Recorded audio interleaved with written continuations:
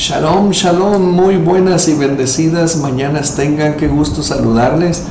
Soy el Roe Fernando Isaac, Roe de la congregación Java Ministerios y estamos transmitiendo desde Ciudad Victoria, Tamaulipas, México para todo el mundo. Bienvenido a este tu programa La Parashá de la Semana. Estamos en el tema 54, la Parashá número 54, la última parashá de, del circuito de estudio de la Torah. Estamos hoy muy contentos porque hoy entramos a la celebración de Sukkot. Por favor, ve el video de, de nuestro programa Cafeceando y Aprendiendo Palabra.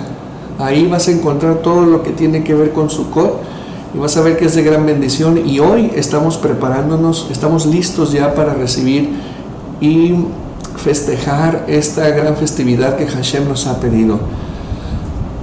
Bienvenido seas y aprovecho para enviarte un saludo, un saludo a mis ovejitas, un saludo a todos nuestros amigos, simpatizantes y seguidores de todo el mundo, de todas las ciudades y de todos los estados de México, así como del norte, centro y sudamérica del continente americano. Y a su vez enviamos el saludo de la península ibérica a España, a Sefarad. Bendiciones a todos ustedes. Enviamos la verajá.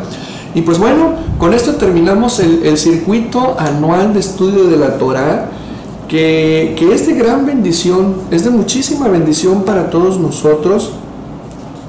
Esta, esta parashá empieza en el capítulo 33 y termina en el capítulo 34, que es el último, esta parasha se llama Bezot Aberaha.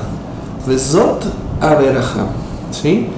Y esto quiere decir, y esta es la bendición. Bezot Haberaha. Bezot Haberaha.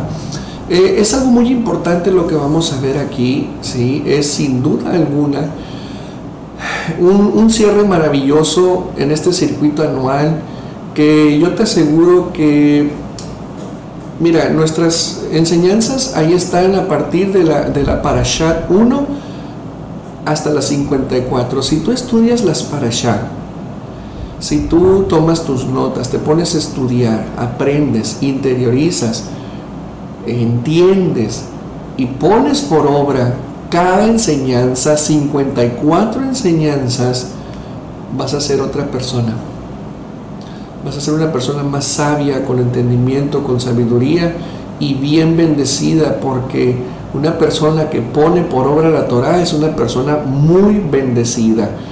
Nos acercamos a Hashem, nos elevamos, le complacemos en su voluntad y Él nos bendice, Él, él, nos da todo lo que le pedimos. Así que, bueno, prepara tu cinturón, tráete tu pluma, tu lápiz, tus, para que hagas tus anotaciones. Vamos a, a empezar esta verajá y aquí hay varios, varios eventos que también tenemos que identificar, tenemos que poner el ojo muy bien en, estos eventos, ¿sí? Para, para, estudiarlos con profundidad.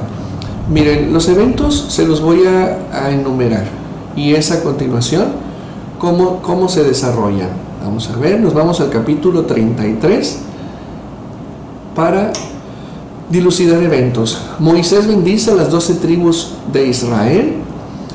Es el primer evento. El segundo evento es la muerte y la sepultura de Moshe que, tiene lugar. Y con esto arrancamos nuestra enseñanza. Este es Moshe sabiendo que ya estaban sus días contados. Dice Moshe de la siguiente manera. Vezot Eshech Berach. Y esta es la bendición con la que Moshe, esta es la bendición con la que Moshe, hombre de Dios, bendijo a los hijos de Israel antes de su muerte. Moshe inició, escuchen bien, Moshe es el primer Mashiach de la humanidad, el primer ungido, alguien que traía un cometido superior. Moshe inició el movimiento de redención, de expiación de una nación. La vida y obra de Moshe es, excepcional. Con él empieza eh, todo un linaje de sacerdocio, de profecía eh, impresionante. Moshe desde sus inicios hasta su final, su compromiso fue siempre agradar al Eterno, obedecerlo. Claro, como todo hombre tuvo sus fallos, pagó las consecuencias de sus fallos, pero en la vida de Moshe podemos encontrar grandes situaciones que también a nosotros nos pueden ser de utilidad para ser personas grandes. Moshe inició un movimiento de redención para una nación, pero eventualmente con el paso de los siglos vendría el hijo de David, quien le daría continuidad a la redención completa, profunda y eterna del pueblo de Israel, pero no solamente a Israel, sino a todas las naciones que creyeran en él, por medio de Machía, el, el, embudo se hace más grande, el embudo de la salvación. Acá abajo está Israel con Moshe y aquí arriba está Israel y todas las naciones. Baruch Hashem.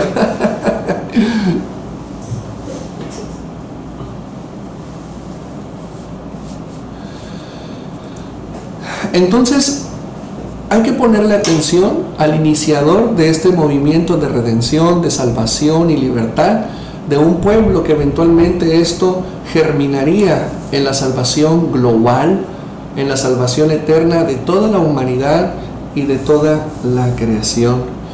Y para que esto se, llegara a dar, Moshe debería de contar con ciertas cualidades, ¿sí? Que lo, que lo autorizaron, que lo invistieron como, como Señor, como el primer ministro de Israel, el primer profeta, el primer líder, el, poder ejecutivo establecido por él. Eh, de tal manera que hay que observar las cualidades que él tenía, que son cualidades que nosotros debemos de tener, desarrollar esa autoridad, porque cuando tú desarrollas la autoridad, puedes bendecir a otros, como Moshe lo hizo. Por ejemplo, desarrollar la autoridad de esposo hace que tu esposa te admire. Desarrollar la autoridad como padre hace que tus hijos les vaya bien. Desarrollar la autoridad en tu ministerio te hace ser cabeza. Entonces, ¿de qué se trata todo esto? Que Hashem nos quiere por cabeza, nos quiere arriba y nos quiere al frente. No nos quiere por cola, no nos quiere atrás y no nos quiere abajo.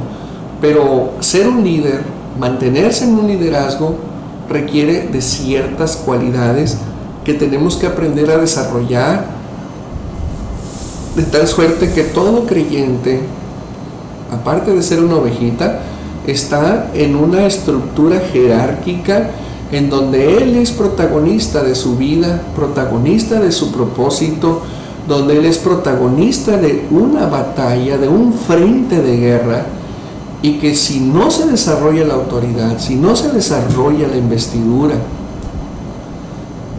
pues no vamos a estar atrás, vamos a estar abajo, vamos a hacer cola y siempre vamos a estar sometidos. Imagínate las cualidades de Moshe como para poder haber hecho caminar a miles de personas por el desierto durante 40 años. La sabiduría, la paciencia y todo lo que tuvo que echar mano él y que Hashem obviamente estuvo con él para lograr el objetivo. No se logró como Hashem tenía planificado porque lamentablemente Moshe no pudo llegar a la tierra prometida. La vio, la observó por misericordia de Hashem, pero por su desobediencia no entró. Que eso no te pase a ti. Por eso es importante aprender de la vida de Moshe. Dice la escritura algo muy importante acerca de Moshe. Mira, vamos a ver esas cualidades.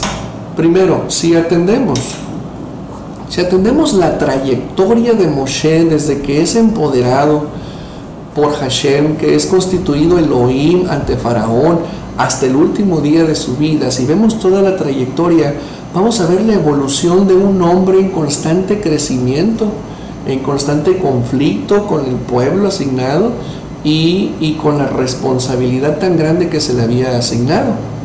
Esa, esa, esa transición de Moshe, esa evolución, ese crecimiento, esa elevación de él, se logró con muchísimo esfuerzo y empeño y sobre todo confianza en Hashem. Dice, dice la, la parasha y dice, y salió. Moshe creció, escuchen bien, Moshe creció en el palacio de Faraón, él, creció como miembro de la familia real. ¿sí? De al dejar el palacio, Moshe obligó a salir, fue obligado a salir de su zona de confort. Eh, Moshe fue obligado a salir de su zona de confort.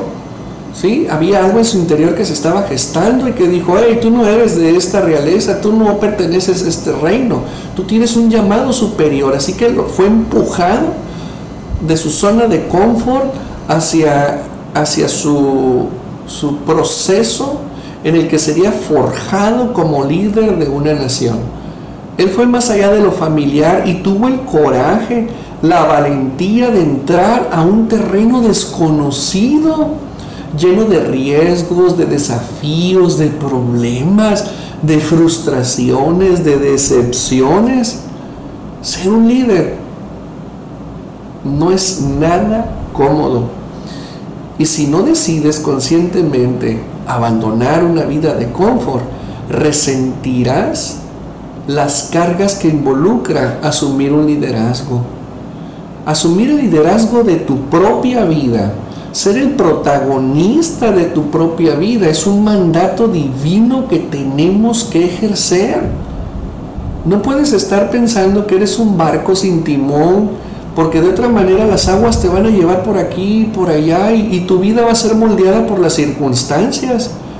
Cuando nosotros tenemos que hacer que las circunstancias, cuando estén mal, romperlas.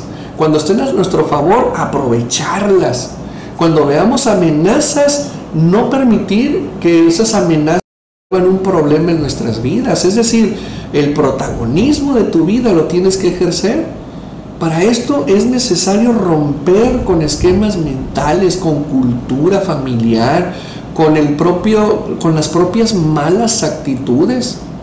Porque de otra manera, si tú no tomas el liderazgo de tu vida, en otras palabras, el protagonismo de quién eres tú, si no asumes tu rol, tu papel que se te dio en la vida, lamentablemente Hashem no te va a poder usar y, se vivirá de una manera mediocre, de una manera... Hay, gente que, vive la vida pidiendo prestado, que, vive, vive siendo cola, vive siendo sometido, endeudado, golpeado por la vida. ¿Por qué? Porque nunca asumieron su liderazgo, tuvieron miedo, no salieron de su zona de confort. Hay personas cuyos padres les resuelven la vida y cuando los padres faltan ya no sirven para nada es, impresionante lo que ocurre cuando no tomas el liderazgo de tu vida. Eh, viene el pulgón, el saltón, vienen espíritus impuros que, que, no te dejan crecer, que no te dejan conquistar. Así que eh, es tiempo de reflexionar y pregúntate, ¿has asumido el liderazgo en tu vida? ¿Eres el protagonista de tu vida? ¿O has dejado que otros moldeen tu vida y manejen tu vida? Son preguntas que tienes que empezar a hacerte. Hablar de liderazgo es hablar de ser cabeza, es hablar de dirigir a otros, de llevar a otros hacia un destino. Si eres padre, a tu esposa y a tus hijos a los pies del Señor, a tener una familia de temor a Hashem, eh, eso es importante. ¿Sí? Porque hay padres que se, se, convierten en proveedores y no quieren saber nada de la moral, de la ética, del cuidado y el bienestar de la familia. ¿sí? Así como también eh, deberás de entender que en el reino no puede nadie más ocupar tu lugar. Tú eres único, eres especial, traes un llamado, traes dones, traes talentos, habilidades y destrezas que nadie más tiene como tú. Y que muchas veces las personas que no conocen su propósito, que no son protagonistas de su vida, que no salen de la zona de confort, jamás, jamás, jamás, jamás logran desarrollar su propósito, jamás logran transicionar y llevar a, esas personas las cuales le fueron asignadas dentro del reino hacia las cosas buenas que el Eterno tiene para todos nosotros. ¿sí? Eh, es importante entender esto. Toda persona que estudia Torah, toda persona discípulo del Mashiach, es autorizado, es investido con poder para salir adelante, para elevarse, para crecer, para estar en constante crecimiento. Nomás recordemos algo, Egipto estaba aquí, Canaán estaba arriba. Cuando dice la Torah que Jacob, Abraham descendieron a Egipto, se refiere que bajaron. ¿Sí? Israel bajó de nivel al llegar a Egipto y, involucrar, involucrarse y envolverse con las prácticas mundanas de Egipto. Cae esclavizado debido a esas malas decisiones y eventualmente con la llegada de Moshe, toda la nación salen, 600 mil hombres con sus familias, salen hacia tierra de Canaán y empiezan su elevación. Así tú, así tú tienes un papel y un rol dentro del reino ante lo cual estamos habilitados, estamos preparados, pero viene el Satán, viene la serpiente y nos bloquea la mente, nos bloquea el entendimiento, nos inyecta miedo, nos inyecta incertidumbre, o de plano hay gente que está tan ciega, que está tan obstruida, que piensan que vivir así está bien, que es normal, pero no. Hashem nos llamó a ser conquistadores, gente de éxito en una constante elevación y se nos dio todo para hacerlo. Si no lo hacemos, es un desperdicio de vida. Si no lo hacemos bien, podemos quedarnos viendo de lejos las bendiciones que pudimos haber tenido y no accedimos a ellas a pesar de esforzarnos. Por eso hay una manera correcta de hacer las cosas y solamente Hashem es Él quien nos puede llevar. Un líder siempre requerirá del líder mayor, Yeshua HaMashiach. Espero te haya gustado la parasha, estudiala, porque la próxima semana es Simchat Torah, reiniciamos el estudio de la Torah. Este será el último video que verás de este programa, pues ya hemos terminado. En adelante solamente se estarán rebobinando este, las enseñanzas. Las vas a encontrar con mayor facilidad en nuestro canal de videos de YouTube. Ahí puedes encontrarlos ordenaditos los videos para que puedas disfrutarlos. Y, bueno, me dio mucho gusto eh, servirte, conocerte y estate atento de, los demás programas que tenemos. Todavía tenemos el programa de Semillas de Fe, tenemos el programa Cafeciando y Aprendiendo Palabra, tenemos la... ¿Qué otro programa tenemos por ahí? El, programa de, de, el Ministerio de Mujeres Maltratadas. Tenemos también por ahí el programa de la fe del creyente, jóvenes en Java. Tenemos una variedad de programas de mucha bendición para tu vida. Los mensajes de Shabbat ahí están también para que tengas acceso a ellos, te formes, estudies y crezcas y te eleves. Así que vamos por esas bendiciones. Ahí está todo el material audiovisual para que seas un buen estudiante de la Torah. Escríbenos a nuestro correo electrónico javaministerios.gmail.com Escríbenos en nuestro canal de YouTube y en nuestro muro de Facebook. Anda a saber tus comentarios.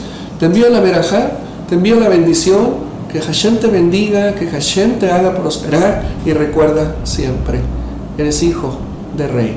Shalom.